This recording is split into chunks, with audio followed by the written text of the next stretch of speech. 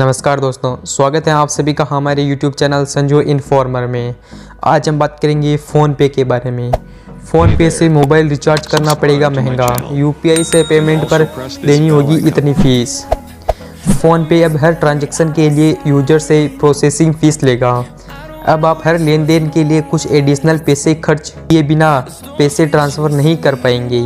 Company पचास रुपये से ज़्यादा के कीमत वाले मोबाइल रिचार्ज पर एक रुपये से दो रुपये की रेंज में रिचार्ज फ़ीस लेगा। वॉलमार्ट के स्वामित्व वाला डिजिटल पेमेंट ऐप फ़ोनपे अब हर ट्रांजैक्शन के लिए यूज़र से प्रोसेसिंग फ़ीस लेगा।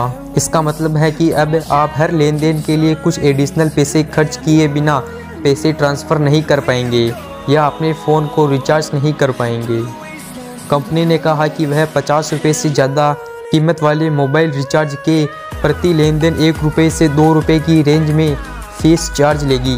फ़ोन पे पहला पेमेंट ऐप है जिसने यूपीआई आधारित ट्रांजैक्शन के लिए चार्ज लेना शुरू किया है। पचास रुपये से ज़्यादा के रिचार्ज पर देना होगा चार्ज।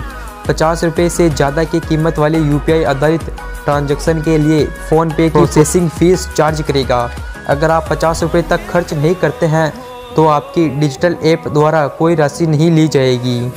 भारत में सबसे लोकप्रिय व्यापक रूप से इस्तेमाल किए जाने वाले पेमेंट ऐप में से एक हैं। पीटीआई की एक रिपोर्ट के मुताबिक, इसने सितंबर में अपने प्लेटफॉर्म पर एक सौ पैंसठ करोड़ से ज़्यादा यूपीआई ट्रांजैक्शन दर्ज किए हैं, जिसमें ऐप सेगमेंट में 40 परसेंट से ज़्यादा हिस्सेदारी हैं।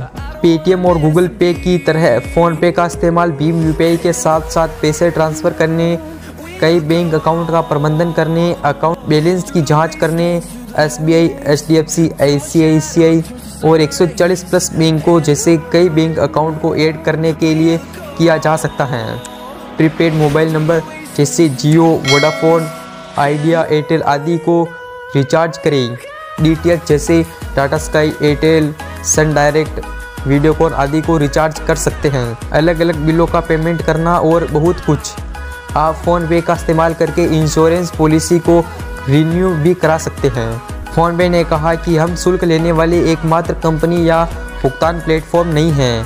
बिल भुगतान एक छोटा सा शुल्क देना एक स्टैंडर्ड इंडस्ट्री प्रैक्टिस है और अन्य बिलर वेबसाइटों को भुगतान प्लेटफॉर्म द्वारा भी किया जाता है। हम केवल क्रेडिट कार्ड से भुगतान पर प्रोसेसिंग फ़ीस लेते हैं।